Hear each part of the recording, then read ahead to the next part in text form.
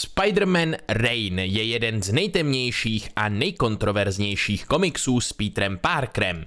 Naštěstí, rozdíl od většiny nových věcí není kontroverzní kvůli tomu, že by někdo považoval fakt, že hromada odpadu je vybarvená převážně hnědou barvou za rasistický, ale zkrátka kvůli určitým aspektům v příběhu, které lidem připadají zvláštní. Ale víc o tom na konci tohle z toho videa. Já jsem Medojet a tohle je vaše denní dávka nerdství. Celý příběh se odehrává v budoucnosti, mimo hlavní kontinuitu aka Zemi 616. Peter je starý děda a právě ho vyhodili z práce. Snaží se šéfa přemluvit, aby mu aspoň nechal poslední výplatu, protože má ženu a musí platit nájem, ale má smůlu. Odchází tedy domů, když najednou do něj narazí jeden kluk, kterého pronásledují místní ochránci práva, i když v téhle budoucnosti jsou to spíš ochránci bezpráví. Peter upustí květiny, které nese domů a upadne na zem. Chlapce mezi tím srazí k zemi a dolují z něj, jak se jmenuje. Jeho jméno je Ben. Peter si vzpomene na podobný incident, který se odehrál o mnoho let dříve a uvědomí si, že tomu nedokáže jen tak přihlížet. Přistoupí k mužům a dostane loktem do obličeje. Následně je náhodou sražen k zemi a zlomí si ruku. Má jediné štěstí, že si nikdo ani nevšiml, že se vlastně snažil Benovi pomoct a tak může aspoň odejít domů. Jak se mohl nechat, aby ho odvedli? Obviní ho malá holka, která se schovává za rohem, ale Peter neodpoví a sklíčeně odchází domů. Když přijde, ohřeje si polévku a začne vyprávět o tom, jaký měl dneska den. Ale najednou se rozeřve, protože mu nikdo neodpovídá. Na druhé straně stolu jakoby seděla Mary Jane, ale ve skutečnosti tam není, už dávno zemřela. Peter se omluví své halucinaci a pak se smutně zahledí do venkovního deště. V nové televizní stanici Daily Bugle mezi tím probíhá reportáž o tom, jak je město New York už přes 10 let bez jakýchkoliv superpadouchů. Během pěti dní hodlá starosta Walters navíc spustit nový program jménem Síť, který by měl uzavřít celé město v laserové bariéře a zabránit tak komukoliv bez povolení ve vstupu nebo v opuštění New Yorku a zajistit tak definitivně stoprocentní bezpečnost ve městě. Součástí tohoto programu je i sejmutí veškerých velkých kovových ornamentů z budov a zbavení se kostelních zvonů, protože velké kusy ocely by údajně mohly narušit tuto síť. Petra ale zprávy nezajímají a sní o jeho bývalé ženě Mary Jane. Vlastně si sám není jistý, jestli sní nebo halucinuje, ale zabušení na dveře ho probere zpátky do reality.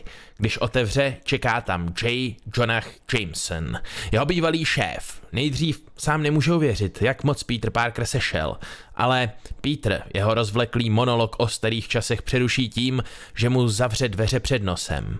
Nicméně Jameson sebou měl ještě balíček a ten se mu povedlo nechat uvnitř. Takže když pochopí, že se nedočká žádné větší interakce, tak jenom přes dveře řekne Petrovi, ať si rozbalí balík a odejde. Na ulici začne vyřvávat co si o padouších a mlátit do auta chodítkem. Samozřejmě, že tím upoutá pozornost Paulu a ti se ho vydají spacifikovat. Peter mezi tím rozbalí balíček a najde v něm kameru, kterou kdysi používal, když fotil pro Daily Bugle. Má na sobě povědomí kus látky. Jameson venku začne křičet o pomoc, jak ho poldové mlátí skoro až do bezvědomí. A najednou se objeví muž v černé masce. Je to samozřejmě maska ke Spideyho Black Suitu, kterou Jameson našel kdo ví kde. Peter zmlátí prvního chlapa, ale druhý na něj vytasí zbraň a toho tak trochu vyděsí, takže ho schodí z výšky, čímž ho zabije. Jameson se následně tak trochu omluví za to, jak ho v novinách neustále očerňoval, když ještě byl Spider-Man a pak řekne, že on i město Petra nyní potřebují. Potřebují, aby se vrátil, jenže Parker ho jenom knockoutuje a odejde do deště. Jenže Jameson se nehodlá vzdát. Vytiskne si noviny, ve kterých mluví o Spideyho návratu a brzy se tyto informace dostanou i do oficiálních zpráv, kde je ale Jameson samozřejmě označen za bláznivého starce a zesměšněn. Jenže starosta moc dobře ví, že tohle není cvičení a rozhodne se podniknout tvrdé kroky. Už před dlouhou dobou začal ve vězení připravovat nejhorší záporáky New Yorku. Nyní jim implantoval do krků nálože, které z nich v případě neposlušnosti udělají jen krvavou kaši a hodlá je vyslat na lov pavouka. Mezitím zjišťujeme, že malá holka, kterou jsme viděli na začátku, je součástí Jamesonova spiknutí proti starostovi, které sídlí v kostele, kde mají i jeden ze zakázaných zvonů. Nicméně Jameson plánuje mnohem víc, než jenom schovat nějaký zvon. Nahekuje televizní vysílání a oznámí celému městu, že Spider-Man se vrátil a přidá k tomu i jeho adresu. Peter se doma holí a halucinuje o MJ, když před jeho bytem najednou začne hrát hudba. Ukáže se, že Jamesonovi zprávy vylákali jeho starého protivníka Hypno Hustlera z úkrytu. Jenže stal se z něj tak trochu fanda Spidermana mezi tím, co byl v důchodu, hádám, a nutí svým hraním lidi tančit. Jenže během chvíle se jednomu z poldů podaří ho zastřelit. Peter to všechno sleduje z okna. Původně neplánoval žádný velkolepý návrat. Vlastně se chtěl uklidit někam jinam, aby ho lidi nechali na pokoji, protože dráhu superhrdiny už dávno vzdal. Jenže na jeho byt najednou míří raketomet, takže tenhle plán prostě nejde tak úplně uskutečnit. Vrhne se tedy do akce v teď už kompletním černém kostýmu. Dokud má proti sobě jenom běžné poskoky, jde mu to dobře, ale pak se objeví nová Sinister Six a během pár panelů s ním solidně zametou podlahu. Samozřejmě, že Kraven si hodlá vzít svou trofej a tak přistoupí k Petrovi a chce mu useknout hlavu. Jenže v tu chvíli se objeví známá kovová chapadla. Zadrží všechny padouchy na dost dlouho, aby neznámý Petra odnesl. Je to samozřejmě doktor Otto Octavius. Sice už nějakou dobu po smrti, ale jeho chapadla převzala kontrolu a on se stále pohybuje městem jako podivná technozombí. Vezme Petra k hrobu Mary Jane a tak ho přinutí bojovat proti jeho šílenství. Doslova mu otevře oči a přinutí ho, aby se podíval na náhrobek. Pak dokonce vykope její rakev. V tu chvíli si Peter vzpomene na to, jak jeho žena umírala. Seděl vedle její nemocniční postele a vyprávěl jí, jak moc jí miluje, ale pak se opět ozvaly zvenčí houkačky a on musel jít honit zločince. Ani nebyl přítomný, když zemřela. Časem pochopil, co jí zabilo. Jeho krev je radioaktivní, ale to platí i pro jeho ostatní tělní tekutiny. Mary Jane zabilo to, že s ním byla, to, že ho milovala. Ale samozřejmě hlavně to, co je v názvu tohle videa. Spider se mě. Eh, no a nejspíš eh, pomohli tak trochu i Spider sliny. Hádám, že by si zapsali assist, kdyby jsme to brali jako nějaký kill count nebo tak nějak. Doktor Ok během tohle Petrova přiznání vezme mrtvolu jeho ženy a dá mu s ní poslední polibek, i když to vypadá jako by ho spíš pokousal, no a pak odejde do noci. Jameson, který byl součástí schromáždění před Peterovým domem, byl samozřejmě zatčen a předveden před starostu. Jenže nikdo se neobtěžoval ho prohledat a tak se mu podaří bodnout pana Volterse do krku. Pak se ale ukáže ten, co vlastně tahá za nitky. A Jamesonovi se ho taky podaří pobodat, ale bohužel jeho nepříteli to nic neudělá. Je nám tedy odhaleno, že ten, kdo celou dobu všechno řídil, byl Venom, který jenom chtěl město zbavit všech superhrdinů i superpadouchů, zkrátka všech lidí se superschopnostma a následně v něm uzavřít celou lidskou populaci, aby se na ní mohl krmit. Temný symbiont začne pohlcovat celý New York, včetně všech jeho obyvatel. Ale když se dostane do Jamesonovy skrýše, jistá mladá slečna si uvědomí, že ten zvon tu asi nebude jen tak pro prdel a začne do něj ze všech sil být. Tím se jí povede ochránit ostatní členy odboje před sežráním. Pak si všichni nasadí masky a vydají se do ulic bojovat s Rainem, a.k.a. místní policií, ale to slovo se fakt blbě skloňuje, proto říkám policií, a Venomy. A taky vším ostatním, co se jim postaví do cesty v osvobození města. Naštěstí v tom nejsou sami. Po boku jim stojí jeden starý muž. Peter zaleze do rakve MJ.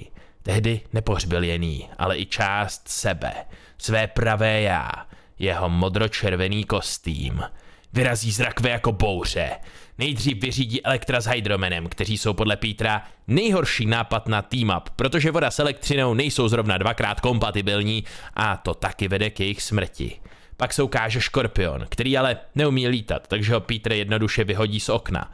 Mysterio se pokusí Spideyho překvapit cosplayem za jeho mrtvou ženu, ale je promptně upozorněn na to, že podobný překvápka se vdovcům nedělají, pokud vám za to dopředu nezaplatějí.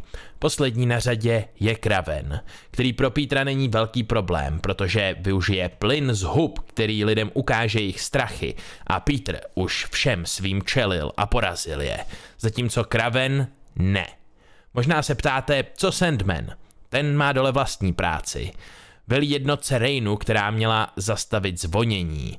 Našli rebely a chtěli je všechny postřílet, ale malá dívka se postavila dopředu. Ten zvuk je zvuk svobodné vůle, řekne. Sandman se jí snaží upozornit, že ustoupit je jediná šance na přežití, ale ona už má utíkání dost. A jak tak chrání své přátele vlastním tělem, strhne si masku a změní se v beton. Sandmanovi v tu chvíli dojde, že má jeho oči. Je to jeho dcera, Chce zastavit palbu, ale už je pozdě. Zastaví tedy své bývalé kolegy násilím a pak se vrhne ke své dceři.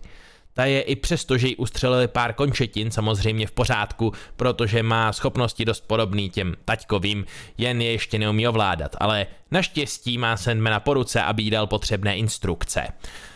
Sandman se pak otočí a uvidí, jak se spoustu kusů symbionta řítí nahoru na věž a vydá se dovnitř. Peter už tam samozřejmě je a právě vchází do místnosti s finálním bosem. Podívej se na mě, Parkere. Já jsem zodpovědnost, které si se zřekl. Přivedl si mě na tuhle planetu, aniž by se zeptal a uvěznil jsi mě tady. Byl jsem tak sám. No a tak jsem konečně zařídil, že pár kámošů přišlo na večeři. Budou večeřet vás. Vás všechny, prohlásí Venom. Peter chvilku trošku v šoku, protože netušil, jak moc Venomovi ublížil, ale nemá čas se tím nějak zabývat, protože musí začít bojovat. Netrvá dlouho a přesunou se i s Venomem na střechu, kam dorazí i zbytek pana symbionta. Situace vypadá beznadějně, ale v tom se objeví Sandman.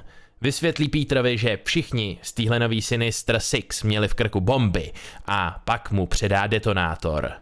Vidíme z dálky, jak věž vyletí do vzduchu. Jameson se vrátí do zpráv jako hlasatel a do města se vrátí i superhrdinové. No a dokonce to vypadá, že i Peterovi se nějak povedlo utéct a přežít. Takže to by byl celý příběh Spider-Man Rain, nebo aspoň některý z těch důležitých částí a upřímně určitě to stojí za přečtení, vyšlo to v češtině, ale naprosto jasně chápu, proč se to spoustě lidí nelíbí. Doktor Rock zachraňující Spideyho je upřímně jedna z nejhorších Deus Ex Machina scén, co jsem kdy viděl. Autor hrdinu prostě hodil do bezvýchodné situace a pak udělal zázrak, aby neumřel, což je prostě jeden z nejlínějších způsobů, jak psát scénáře.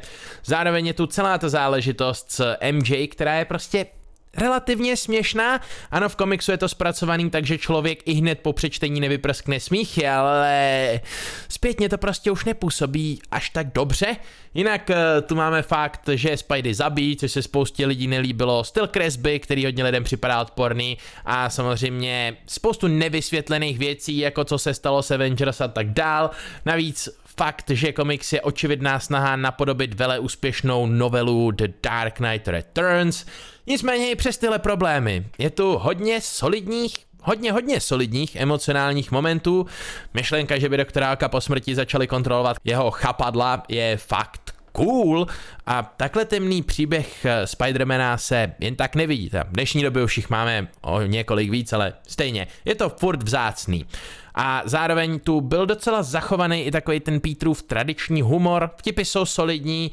Jo no, jako když se vyspím nějak dobře, tak bych tomu dal třeba, já nevím, čtyři hvězdy a když se vyspím špatně, tak někdy zase dvě. Je to divná, divná situace.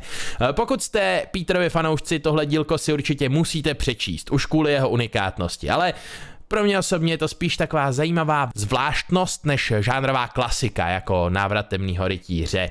A to už by bylo všechno k dnešnímu videu. Jinak, koukněte do popisku, je tam Patreon, je tam link na Alzu. Na Patreonu jsou teď extra nějaký mini recenze komiksů, něco jako bylo tady na konci toho videa, ale méně strukturovaný a mnohem horší, ale je to na Patreonu, tak je tam záznam celého Dračího doupěte, který jsme včera hráli na streamu a jo no, prostě je tam nějaký extra content teďkon. Každopádně Každopádně eh, mějte se, můžete taky odběr, like, dislike a podobné věci a někdy příště.